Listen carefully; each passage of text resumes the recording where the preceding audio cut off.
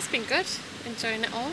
And obviously it's a big one on Sunday, so and it's in Sheffield, which is quite handy. So yeah, I look forward to that. Um, have you been um, have you been keeping up to date with any of the media stuff? You never know really, so it's it's just down to what happens in the night. So I'm just trying to rally up as many people to vote for me, and then see what happens. So people on the website can certainly help you, can't they? Yeah, people on the website, please vote.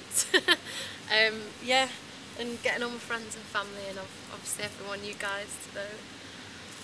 Charles going to be voting, obviously. I'm definitely going to vote either Jenson Button or Phillips Idowu.